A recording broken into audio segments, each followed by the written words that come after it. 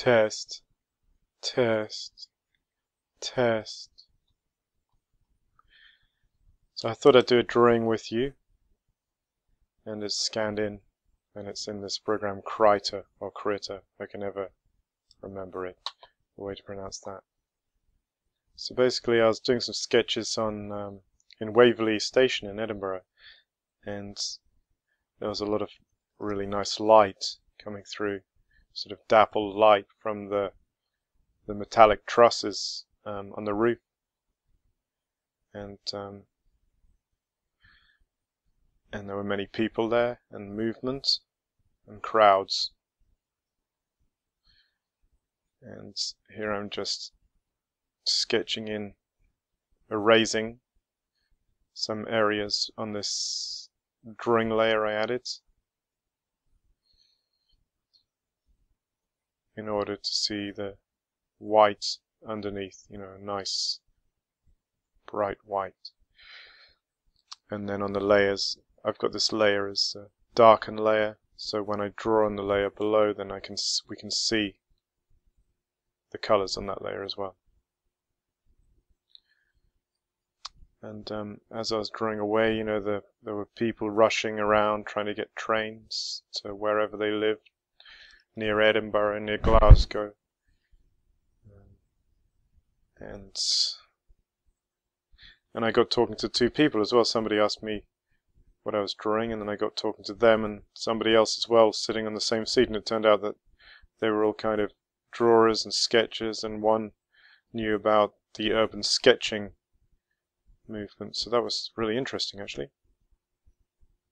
Um, strange sort of conversations you have when you go out there and do sketching.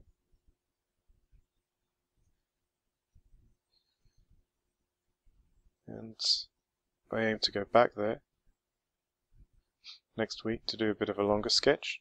I might film it with my camera. And as I said before, what I like when I like drawing, especially urban scenes, is that I like the graphics. You know, graphics of signs and things sometimes stand out.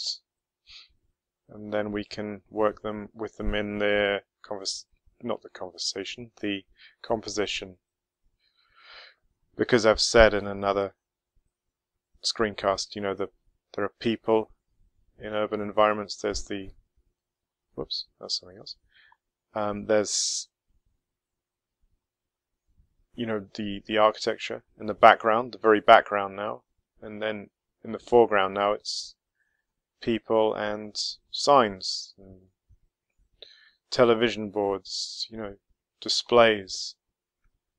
And then even on top of that, the new layer is almost the internet. So when we move into augmented reality, perhaps when we're wearing our Google glasses, then we'll see another layer yet on top of the signs and the people and as I said, the the architecture almost now takes a back seat, a back seat compared to these these these other things going on in the city. That's how I feel. It would be interesting to know what other people think and how they might interpret a similar thing with their drawings.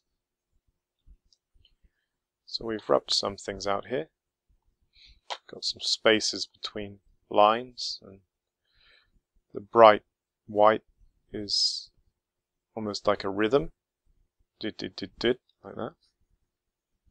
And what else shall I choose? A color? A blue would be quite good, so let's go to a blue. A bit lighter. Lighter, okay. Yeah. Uh, there.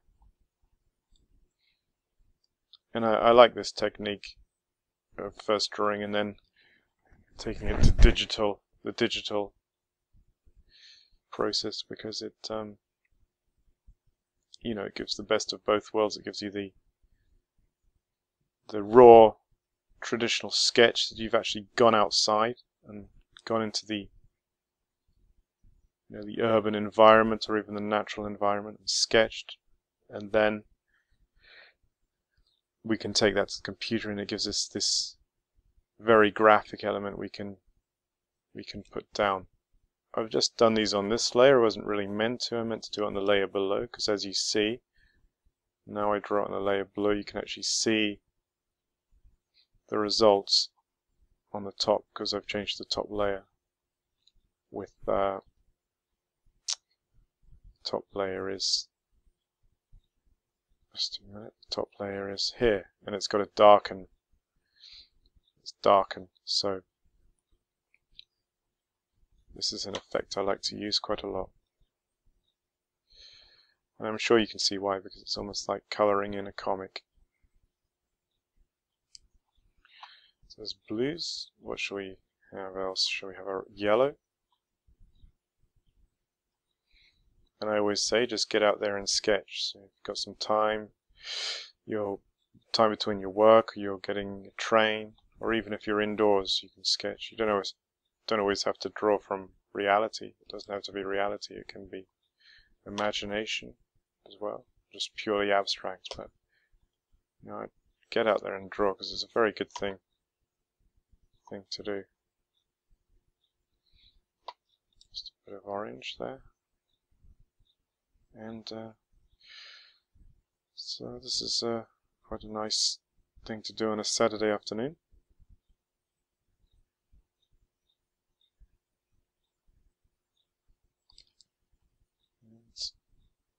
just a little quick thing here, just to put some oranges here.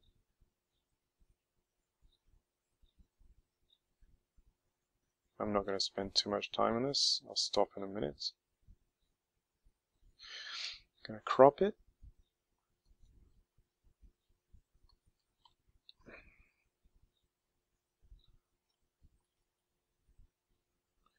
Crop it a bit more. Okay, so there's a bit of a drawing jam for you. So remember, draw in real life and also draw. Draw with your tablet, your graphics tablet, your, your Wacoms or whatever. But always draw in reality with your pen and paper or whatever because this is a great tool as well. Okay, you can check out more of my work at www.jamesabellart.com with some tutorials, lots of tutorials on there, and also there's more tutorials on my YouTube channel. So questions and comments always welcome. I try to get back to you as soon as possible. Okay, speak to you later. Bye.